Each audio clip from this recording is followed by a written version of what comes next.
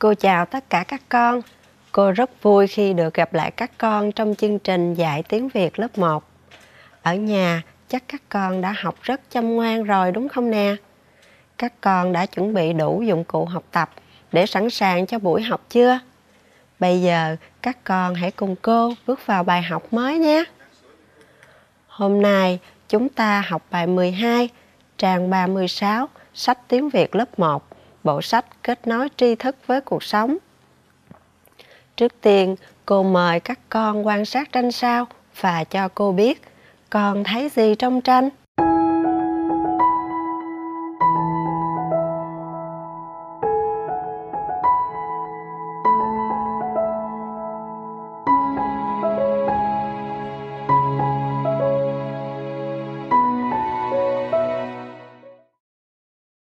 Dạ thưa cô, trong tranh con thấy có những con giống con vịt đang bơi trên hồ ạ. À, đây là những con le le đó các con. Tranh vẽ những con le le đang bơi trên hồ. Với nội dung tranh như vậy, cô có câu sao Các con hãy chú ý lắng nghe cô đọc. Le le bơi trên hồ các con hãy cùng đọc theo cô. La la bơi trên hồ. Các con thấy những âm màu đỏ trong câu này chính là những âm mới mà hôm nay chúng ta sẽ học. Đó là âm hờ và âm l cô giới thiệu với các con, đây là hờ in hoa, đây là hờ in thường, đây là l in hoa còn đây là L in thường. H, L, H, L. Trước tiên chúng ta sẽ học âm thứ nhất của bài hôm nay, đó là âm H. Các con hãy chú ý lắng nghe cô đọc. H, H, H. Các con hãy đọc lại xem nào. Hờ, hờ, hờ. Đây là tiếng hồ. Trong tiếng hồ có âm hờ đứng trước, âm ô đứng sau, dấu quyền trên đầu âm ô. Cô sẽ đánh vần và đọc trơn tiếng hồ. Hờ ô hô quyền hồ. Hồ. Hờ ô hô quyền hồ. Hồ. Cô mời các con đọc lại nào. Hồ ô hô quyền hồ hồ. Âm thứ hai, hôm nay chúng ta sẽ học đó là âm L. Các con hãy lắng nghe cô đọc nhé. L L L Cô mời các con đọc nào. L L L Đây là tiếng le trong tiếng le có âm L đứng trước, âm E đứng sau. Các con hãy lắng nghe cô đánh vần và đọc trơn tiếng le, sau đó đọc lại cùng cô. L, E, le, le. L, E, le, le. L, E, le, le. Cô sẽ đọc lại cả hai âm. Các con hãy lắng nghe nhé hờ. Hờ, ô, hô, quyền hồ hồ l l e la la các con hãy đọc lại xem nào. Hờ. Hờ, ô, hô, quyền hồ hồ l l e le. Le. Bây giờ các con hãy nhìn xem cô ghép tiếng hồ và tiếng le từ bộ thẻ chữ tiếng Việt như thế nào nhé. Để ghép tiếng hồ từ bộ thẻ chữ, cô lấy âm hờ ghép trước, âm ô ghép sau, dấu quyền trên đầu âm ô để được tiếng hồ. Để ghép tiếng le, cô lấy âm L ghép trước, âm E ghép sau là cô đã được tiếng le rồi đó các con.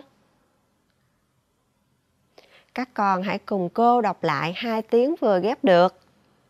Hồ, le, hồ, le. Hồ, le. Bây giờ các con hãy xem cô hướng dẫn đọc các tiếng. Ở đây cô có 3 tiếng, các con hãy nhìn xem ba tiếng này điểm giống nhau là ở chỗ nào?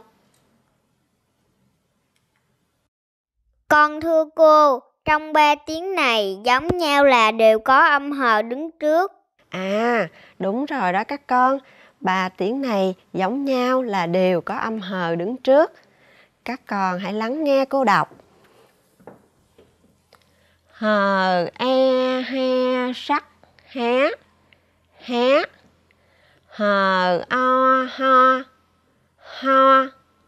Hờ, ô, hô, hỏi, hổ, hổ. Cô mời các con đọc lại nào. Hờ, e, he, sắc, hé, hé. Hờ, o, ho, ho. Hờ, ô, hô, hỏi, hổ, hổ. Cô có thêm 3 tiếng nữa. Các con nhìn xem, ba tiếng này giống nhau ở chỗ nào vậy các con? Con thưa cô, chỗ giống nhau giữa ba tiếng là đều có âm L đứng trước. Các con rất giỏi. Đúng rồi, điểm giống nhau giữa ba tiếng này là có âm L đứng trước. Các con hãy lắng nghe cô đọc. L, Y, Ly, Ly. L, O, Lo, nặng, lọ, lọ. L, Ơ, Lơ, ngã, lỡ, lỡ. Cô mời các con đọc lại nào. L, Y, Ly, Ly. L, O, Lo, nặng, lọ, lọ. L, Ơ, Lơ, ngã, lỡ, lỡ. Cô sẽ đọc lại 6 tiếng. Các con hãy lắng nghe, sau đó đọc cùng cô. Hờ, e, he, sắc, hé, hé. Hờ, o, ho, ho. Hờ, ô, hô, hỏi, hổ, hổ. L, y, ly, ly. L, o, lo, nặng, lọ, lọ. L, ơ, lơ, ngã, lỡ, lỡ. Hé, ho, hổ, ly, lọ, lỡ.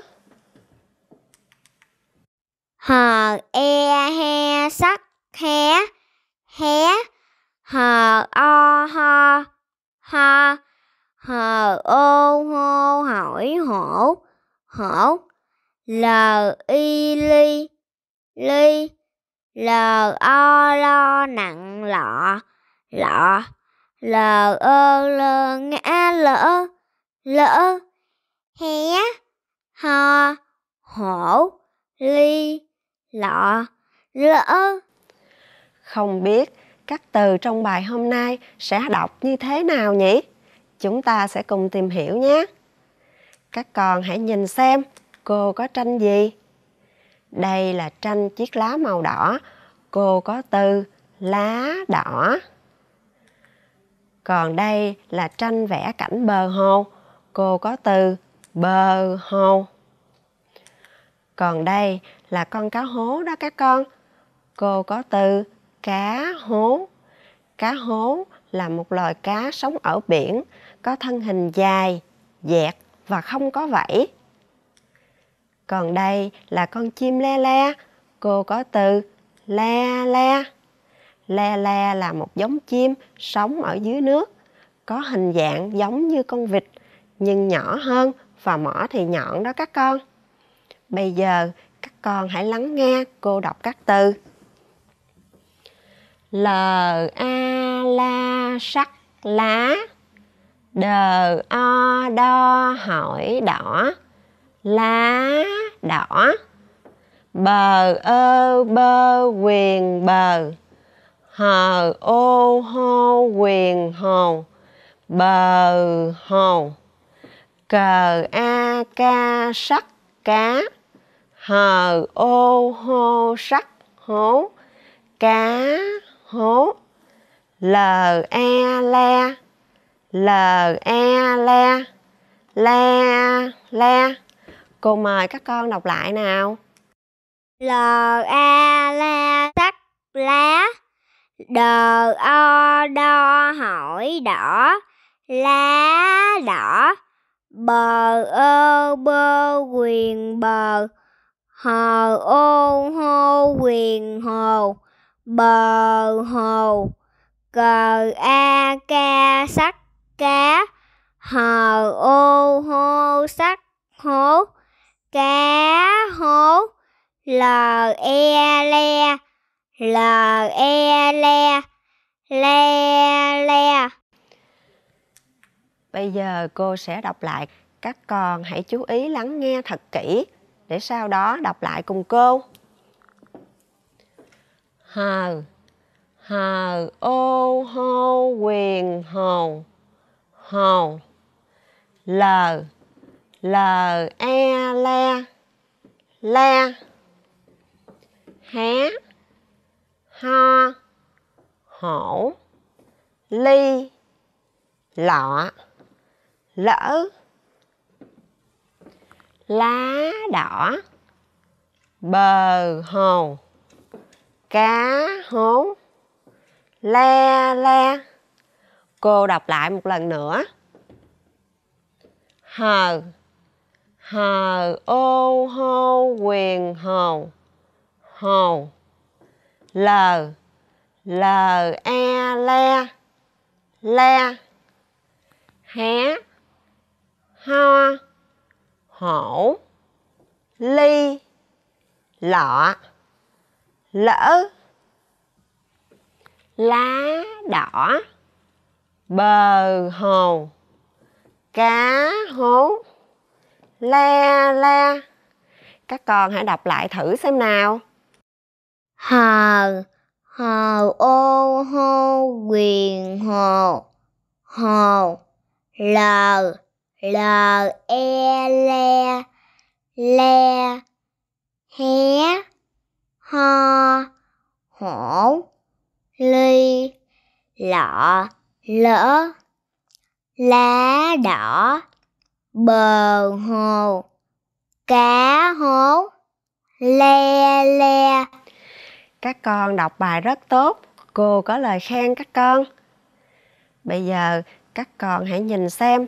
Cô hướng dẫn viết chữ hờ, chữ hồ, chữ l và chữ le le các con hãy ghi nhớ chữ H và chữ l cao 5 ô ly nhé các con để viết chữ H trên đường kẻ thứ hai cô bắt đầu viết nét khuyết trên cao 5 ô ly sau đó cô rê bút lên gần đường kẻ thứ hai, viết nét móc hai đầu cao hai ô ly để tạo thành chữ H. Điểm kết thúc nằm trên đường kẻ thứ hai. Để viết chữ hồ, trước tiên cô sẽ viết con chữ hờ.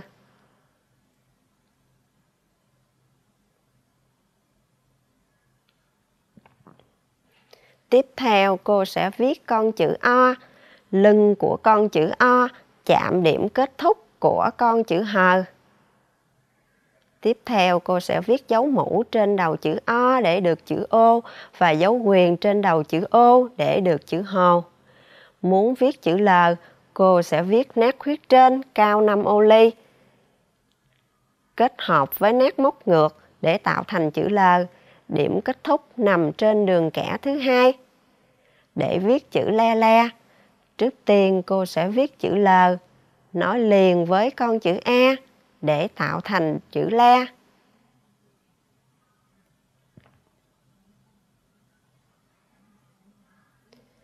bây giờ cô sẽ viết chữ la thêm một lần nữa là cô đã có chữ la la rồi.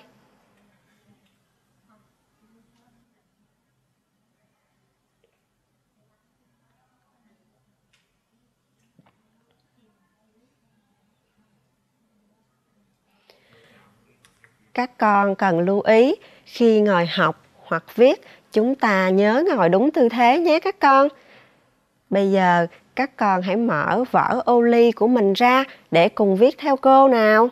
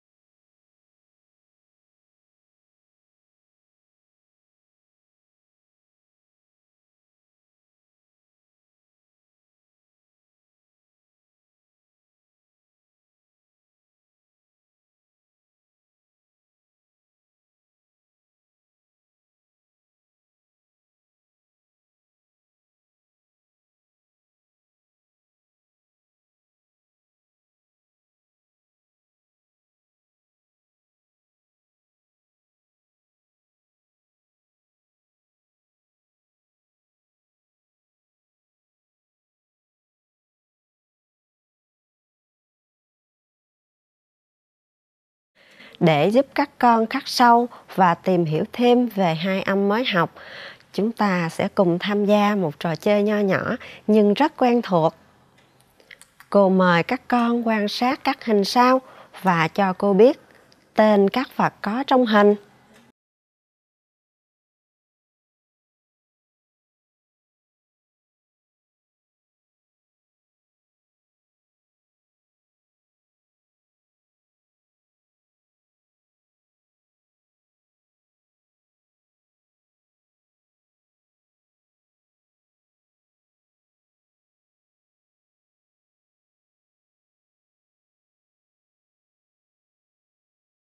Con thưa cô, trong hình con thấy có hoa, hộp, lòng, lụ, lê và hổ.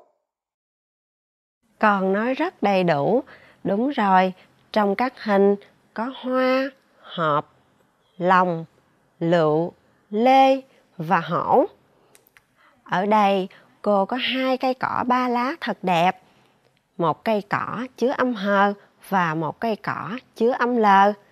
Các con hãy chọn trong các hình vừa xem tên vật nào có chứa âm H, chúng ta sẽ xếp lên cây cỏ chứa âm H. Còn tên vật nào chứa âm l, chúng ta sẽ xếp lên cây cỏ chứa âm l.